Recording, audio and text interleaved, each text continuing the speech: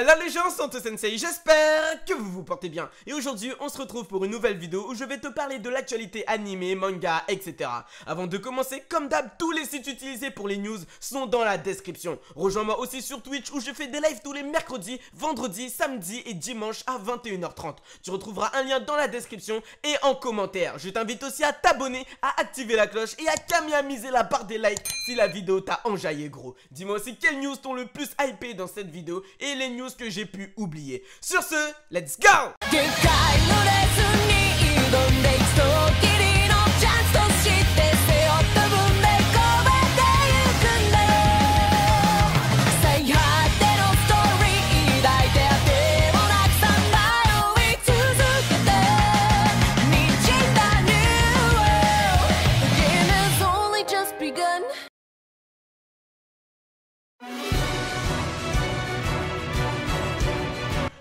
Nous nous Maogaku Futeki Gosha qui s'anime en bande-annonce. Pour rappel, cette série devait débuter en avril, mais elle a été reportée à cause de l'épidémie, et donc sa diffusion va débuter le 4 juillet.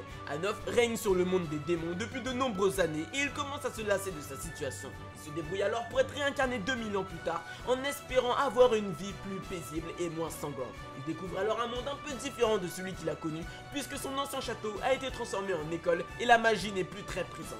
Anof est lui resté très puissant. S'adaptera-t-il dans sa nouvelle vie?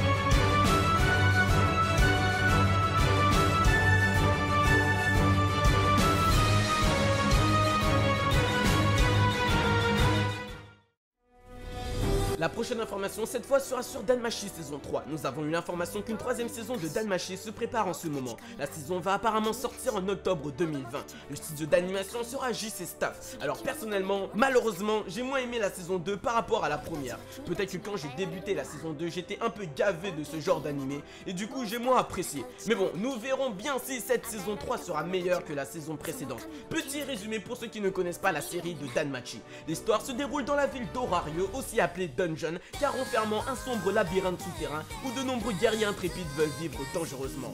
Belle Clanel est un jeune garçon voulant devenir plus fort après avoir été sauvé d'un minotaure par la belle Aze Wallenstein dont il tombe éperdument amoureux. Croyant être passé pour un lâche auprès de cette dernière, il partira en quête de puissance et de force dans les dédales de ce labyrinthe afin d'atteindre la puissance incroyable de la belle Aze. Par la suite, Belle sera bénie par une divinité aussi immature qu'impopulaire du nom d'Estia en rejoignant sa familia.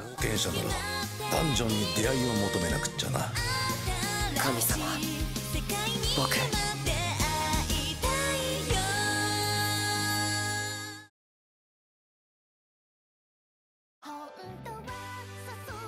Uzaki-chan wa Asobitai s'offre une troisième bande-annonce. La société de production Kadokawa Anime nous dévoile une troisième bande-annonce de l'anime. Nous apprenons à cette occasion que la série débutera sa diffusion le 10 juillet. Sakurai Shinichi est un étudiant qui n'aspire qu'à la tranquillité, surtout lorsqu'il croise Uzaki Hana, une étudiante un peu plus jeune que lui. Elle apprécie plus que tout passer du temps avec lui et le taquiner en usant de ses charmes, de son énergie et de sa bonne humeur. Serait-ce le début d'une histoire d'amour?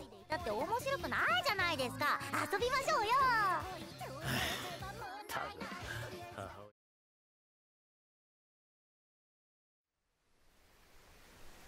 Information concernant la future saison de Wakfu. Alors la production de la prochaine saison de Wakfu semble semée d'embûches. D'après une note de cette dernière, elle rencontre pas mal de problèmes financiers. C'est pour cette raison qu'un Kickstarter a été ouvert dans le but d'aider à produire des épisodes. Apparemment, un épisode coûterait près de 100 000 euros. Au moment où je te parle, plus de 550 000 euros ont été donnés, ce qui est énorme, mais pas encore assez pour l'objectif de Wakfu. Si je te parle de ça, c'est pour que tu saches les problèmes liés à Wakfu et pour que tu aides si tu en as l'envie financement des prochains épisodes. Je t'ai mis un lien dans la description si tu veux aller faire un don sur leur Kickstarter. Je ne reçois pas d'argent pour en parler, j'ai juste voulu les aider un peu à ma manière en t'en parlant gros. Des boutiques à la pointe de la mode vous proposeront un vaste choix de bijoux et d'accessoires pour accompagner vos sorties.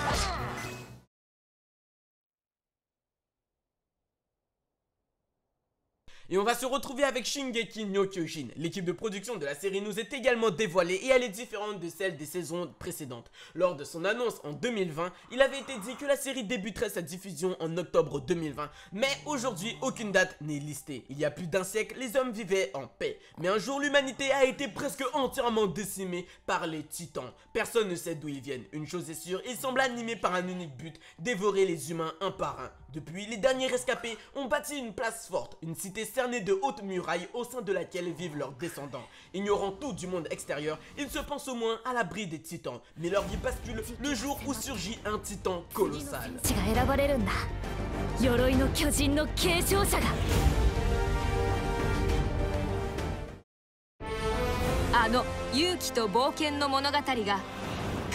L'équipe de production de Dragon Quest, la quête de Dai se présente. Notons tout d'abord que sa diffusion débutera en octobre 2020.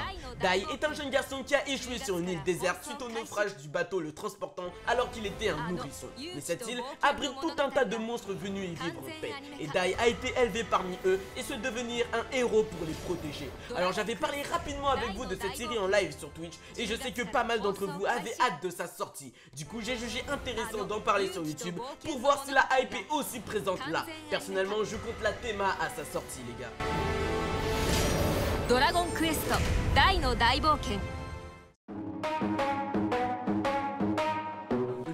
Ghibli réalisé entièrement en 3D CGI annoncé. Le projet s'intitule Ayato Majo Earwig and the Witch. Il sera produit par l'illustre Toshio Suzuki et réalisé par le fils du maître Goro Miyazaki. Les contes la colline au Kokuko, pour ceux qui euh, veulent regarder un peu ce qu'il a fait. Et qui s'était déjà intéressé aux techniques numériques avec Ronja, fille de brigand qu'il avait réalisé indépendamment par rapport au studio Ghibli. Dans le roman original, on suit les aventures d'Earwig, une orpheline qui vit au sein Mort Wild Home for Children.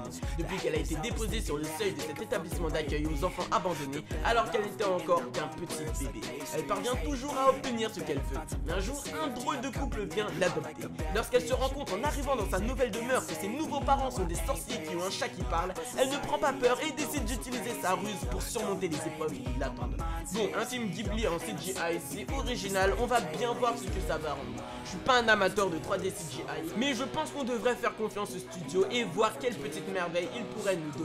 Dis-moi si tu penses qu'ils ont bien fait de faire le pari de créer un film en 3D CGI, sachant que ça peut déstabiliser pas mal de personnes n'aimant pas ce style, ou si au contraire c'est un moyen de peut-être innover dans la patte assez connue Ghibli, en offrant une nouvelle touche.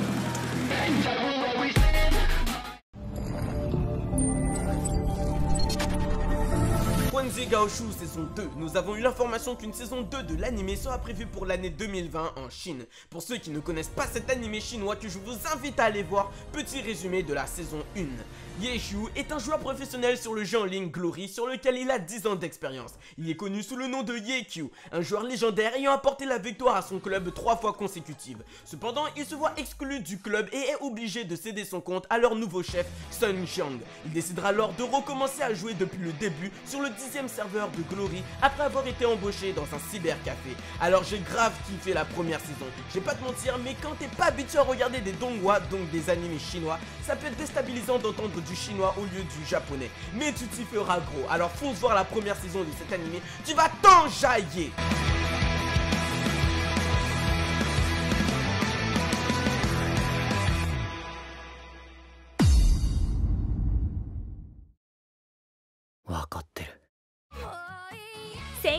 L'éditeur Kodansha a annoncé que le manga Love X Dilemma, plus connu sous le nom de Domestic Nakanojo de Sasuka Kei, se conclura avec le tome 28 en août 2020 au Japon. Le dernier chapitre sortira donc le 10 juin 2020. Natsuo, lycéen, est secrètement amoureux de Ina, pétillante prof d'anglais qui a beaucoup de succès. Lors d'une soirée avec ses camarades de classe, il va rencontrer Rui, une fille peu sociable avec laquelle il va coucher. Peu de temps après, son père lui annonce qu'il va se remarier avec une femme ayant deux filles qui ne sont autres que Rui et Ina. Maintenant qu'il vit à la fois avec la professeure qu'il aime et la fille avec qui il a eu sa première fois, Natsuo se retrouve dans un triangle amoureux inattendu à mesure qu'il s'approche de l'âge adulte. Alors une série excellente que je t'invite à aller regarder. N'hésite pas à aller voir la saison 1 qui est déjà sortie ou alors à aller lire le manga mon gars. Puis aussi, entre nous, dis-moi dans les commentaires quelle est ta fille préférée dans cette série si tu l'as lu ou regardé. ずいぶんややこしいことになったわな今回ばかりはな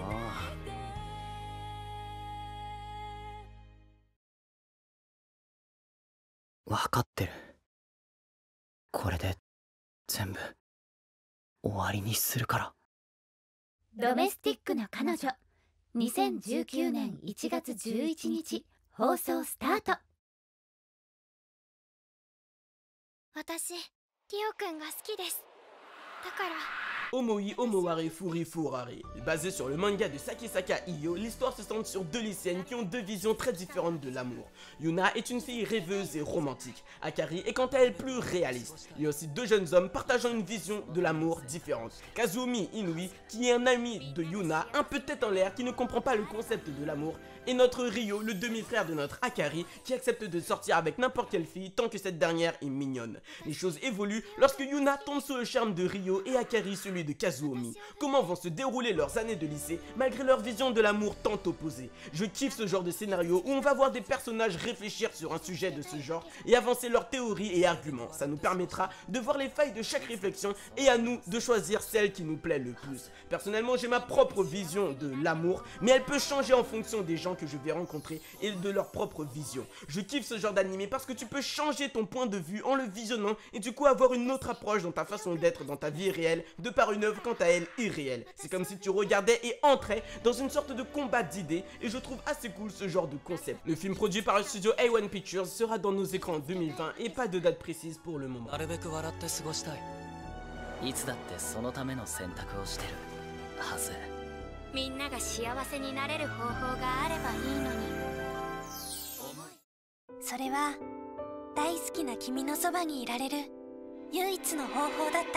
Pour la prochaine info, ce sera Nakita Iwatashi wa Neko Kaburu. Il s'agit du deuxième long métrage d'animation du studio Colorido.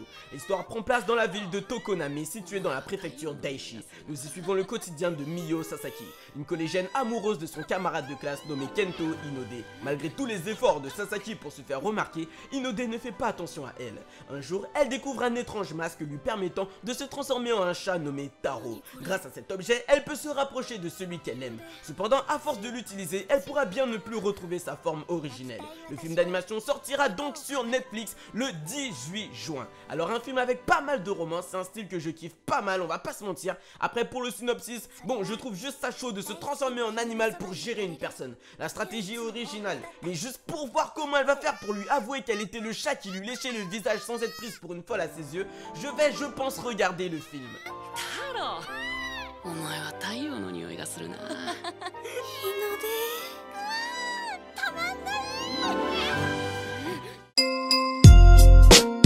Et voilà, c'est la fin de la vidéo. N'hésite pas à t'abonner si tu l'as kiffé, ça encourage beaucoup. Et comme d'hab, extermine, détruit, fais du mal à la barre des pouces bleus. Je veux l'entendre gueuler depuis chez moi.